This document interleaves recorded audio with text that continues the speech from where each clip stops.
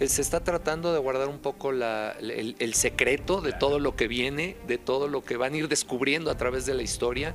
Creo que no me había tocado trabajar en una producción que se manejara de esa forma. Siempre en los promos pues cuentas todo lo que va a pasar.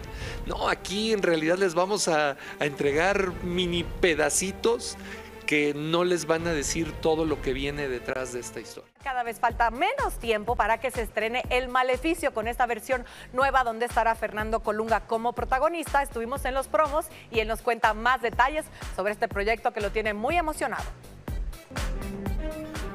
En exclusiva acompañamos a Fernando Colunga durante la realización de los promocionales de El Maleficio.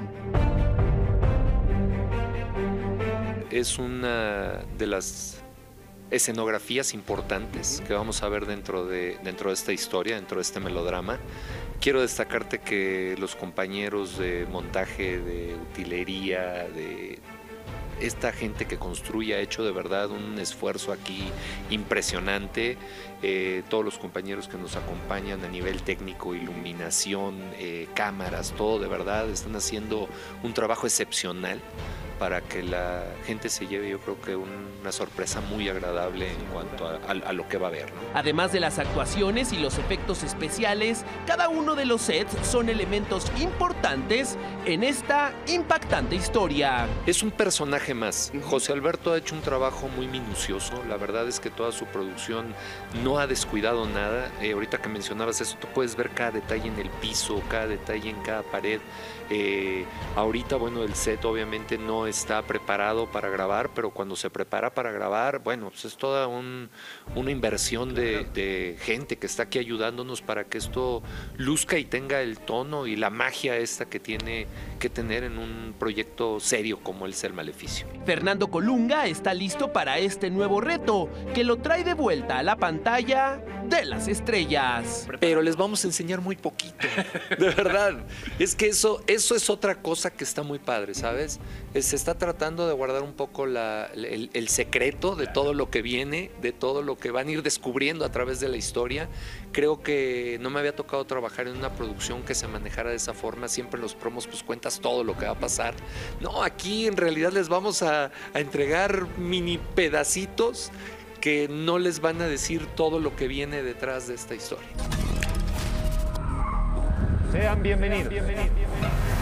y por ella recuperarla. Él mintió sobre la muerte de mamá. Para alcanzar la cima hay que sacrificarlo todo. Solo el amor romperá el maleficio. Inicia 13 de noviembre. Yo siempre he creído que este trabajo, la palabra profesional incluye todo. Profesional incluye disciplina, cumplimiento, estudio. Yo como digo, no es que llegues a hacer un favor a una producción, ¿no? Tú llegas a cumplir, al menos fue la escuela que yo tuve, con la palabra profesional. Y la palabra profesional no te habla de, pues ahí llegas cuando quieres o, lo, o no estudias o das el 70%. No, para mí eso no existe porque al igual que José Alberto, mi compromiso con el público pues es completo, es completo y trato, como siempre lo he dicho, de devolverles allá a su casa un poco de todo, todo lo que han mantenido en la atención conmigo y en los gestos amables que tienen cuando me ven en la calle y sobre todo de mantener mi carrera, ¿no? El Maleficio, lunes 13 de noviembre, 9.30 de la noche, con las estrellas. Para Cuéntamelo ya, Televisa Espectáculos, Jorge Ugalde. El lunes 13 ahí estaremos y sin duda él es uno de los ar- artistas y actores más disciplinados que tiene esta empresa. Nos consta que siempre es puntual, que es trabajador, que es humilde, que da entrevistas, así que seguro te irá muy bien junto con Marlene Favela y todo el elenco. Así que estaremos esperando este estreno. Siempre he pensado en ayudar a mi alrededor. Ay, que si a mi mamá le daría, que si mi hermana la mando a Madrid a ver a su nieta, que si a mi tío le construyo su alberca, mi casa la remodelaría, viajaría mucho. Culposo, pues me iría de parranda, invitaría un montón de, de amistades, Ay, sí. este, a un crucero de Disney. Ah, Estaría muy divertido. Qué padre, muy Eh, bueno. ¿Qué no se haría? Con 200 millones de pesos cambia mi vida y le puedes cambiar la vida también a muchas personas. Muchas gracias. estás? Muy feliz, muy contenta de estar en este foro, que además está hermoso, hermoso, con ¿verdad? todo esto del Día de Muertos. Así es. Yo sé que Don Nino es eh, bárbaro en todo esto. ¿Verdad? Es así. Eh, en fin, estoy muy contenta de estar aquí con ustedes. Muchas Y gracias. nosotras que estés aquí, pero platícanos por favor de Irma, tu personaje. Claro que sí, mira, el viernes salió mi personaje, Irma, está en la parte populachona de la historia, es este madrina de eh, Roxana, que es el personaje de Michelle González. Ajá. Y entonces yo tengo, soy dueña de una barber truck, you know? Ah, De los que cortan barbas a los hombres. ¿ok? Órale. Padrísimo. Un camión un barbería. camión y entonces ando por todos lados con mi camión ganando dinero y en el populacho. Entonces, este, yo trato de aconsejar ahí eh, a, a Roxana. Eh, Irma es una mujer amorosa, se ha casado solo cinco veces Ándale. en la vida nada más y pues a disfrut- y disfrutando todo esto, ¿no? Tratando de orientar a Roxana, que es una enamoradísima empedernida. No, pues con cinco matrimonios, harta experiencia, ¿eh? Experiencia tengo y me faltan más. Oye, cuéntame de, de tu personaje, Irma, ¿cómo es con Roxana? ¿Es alcahueta, es directa? Ambas, es, este, es alcahueta, es amorosa, pues la conoce desde chiquita, entonces es casi como una hija y le rompe un poco el corazón, pero cuando ya ve que se va desviando o que está muy obsesiva con el guapísimo de Tadeo, eh, pues le doy sus regañadas, ¿no? Claro. Porque yo lo que quiero es que ella esté bien. Que no me llegue tarde porque trabaja conmigo en el, en el camión, que no se pelee y le corte la oreja a- al cliente por distracción, ¿sabes? Entonces, mi timita, mediadito. Oye, Ale, y hablando un poquito de ti, cuéntanos cómo llega esta oportunidad a tu vida de participar en este gran proyecto. Pues imagínate, llega como siempre en el mejor momento, el trabajo siempre es Sí. muy bien recibido. De la mano nuevamente de Nicandro Díaz, con quien he hecho muchas telenovelas, gracias a Dios. Tipazo. Tipazo, Toño, todo el, el equipo de producción. Y llega en un momento maravilloso, porque el mejor momento Es es, el el, que estamos el viviendo presente, ahora. ¿no? El Como presente, decimos. exactamente. Y aparte arrancó con un éxito, estamos en la novela del Ya lo sé. momento, una Nicandro semana. estaba preocupado antes del estreno y qué tal, o sea, no, los claro, números, imagínate, sí. se mordían las uñas y todos en general, porque siempre es más bonito cuando el rating y todo va fluyendo, ¿no? Que y para arriba, para arriba, el, el viernes, ayer estuvo buenísimo el rating, buenísimo, va otra vez para arriba, la telenovela del momento, imagínate, y es que tiene todos los elementos. Así es. todos. Oye, y si nos vamos al mundo de la ficción y Ay, te ganas maravilla. la lotería, Ay, qué maravilla. ¿cuál sería tu primer placer culposo al ser millonaria? El primer eh, placer culposo... en el que te gastarías tu lana. Pues me gastaría, mira, siempre he pensado en ayudar a mi alrededor. Ay, Que si a mi mamá le daría, que si mi hermana la mando a Madrid a ver a su nieta, que si a mi tío le construyo su alberca, mi casa la remodelaría, viajaría mucho.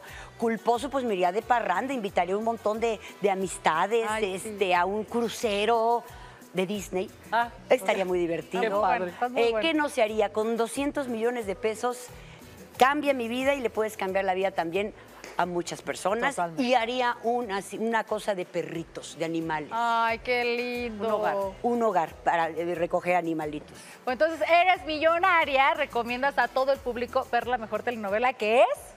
Golpe de suerte. Claro que sí. Y a comprar boletitos porque en una de esas nos cae el golpe para nosotros. ¿Es verdad? Claro. A veces claro. la ficción. Ajá. A veces por la realidad supera la disfrutar. ficción, dicen. Así es. Así por lo pronto Ale. disfrutarla porque está muy hermosa la, la telenovela. Ale, muchas gracias por visitar Cuéntamelo ya y estaremos muy, muy atentos a tu personaje que está brillante. Y Claro que felicidades sí. a todos. Es Muchos besos, gracias por la invitación y no se lo pierdan por las estrellas. Por ocho nada. y media.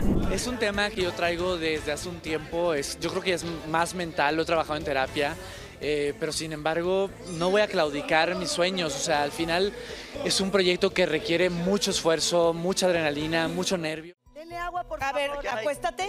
Mira, esto es de. Nada más acuéstate, please. Aquí hay agua. Se me puso un poquito blanco. Ahí estás. Se hiperventiló. Quiero rápidamente aclarar, es un tema con el que yo vengo trabajando desde hace muchos años, que cuando estoy dando toda mi adrenalina, como que me gana, dejo de respirar. Una disculpa. Me gustó porque era fluido el movimiento, ¿sí? Estaba realmente energético, estaba bonito. Mi querida Beba Bets. Les voy a dar un 9. 8. 8 también. Siete. Se nos van con 32 puntos. No, no me mejoro. Y ay, me da mucho sentimiento porque no me quiero ir.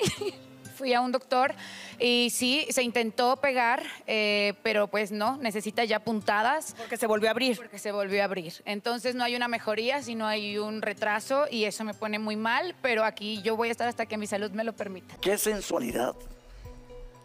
¿Qué mensaje están mandando al resto? El resto tiene que ver la entrega que tuvieron hoy ustedes aquí. Los dos se ven hermosos. Ahora sí, calificación. Es 9 con sabor a 10. ¡Nueve! Nueve. 34 puntos. ¿Qué tal esta pareja que ante la adversidad creció? Y más adelante tendremos todas las reacciones de las estrellas bailan en hoy, en donde Roberto Carlo pues, nos dará más detalles sobre lo que sucedió al finalizar su presentación. Así es. Oigan, y siguiendo con las estrellas bailan en hoy, los problemas de salud aquejan a los famosos y en esta ocasión a Roberto Carlo le faltó el aire en su coreografía. Él nos cuenta por qué le pasa esto. Es un tema que yo traigo desde hace un tiempo, es, yo creo que es más mental, lo he trabajado en terapia, eh, pero sin embargo no voy a claudicar mis sueños, o sea, al final es un proyecto que requiere mucho esfuerzo, mucha adrenalina, mucho nervio y al juntar todos esos elementos, pues como que dejo de respirar, como que me empiezo a hiperventilar por estarlo pensando tanto y durante la coreografía quiero dar todo que, que me pierdo, o sea, como le dije a la maestra, es algo que yo estoy trabajando, que sí lo tengo que llegar a controlar en algún momento, pero para nada me voy a, claudicar por eso. Dania Méndez también está pasando por momentos complicados. Hace un tiempo se sometió a una cirugía de busto y lamentablemente esta semana se le abrió la herida, por lo que podría abandonar la competencia. Ella nos da más detalles. No mejorando, desgraciadamente, me encantaría poderlo decir, pero con el ensayo, con el sudor, con el tema, pues obviamente es difícil que me pueda cerrar, ¿no? Como tal, o tener reposo. Entonces, bueno, ahora pues vamos a ir con otro doctor ah, para que este fin de semana ya tenga el reposo adecuado, para que la otra semana esperemos ya llegar con todo. O sea, mi mamá está como muy preocupada, también mucha familia mía, que debo de, de abandonar y debo de dejar por mi salud, pero la verdad es que hasta que no me diga el cirujano, ya no puedes bailar, yo voy a dejar de bailar.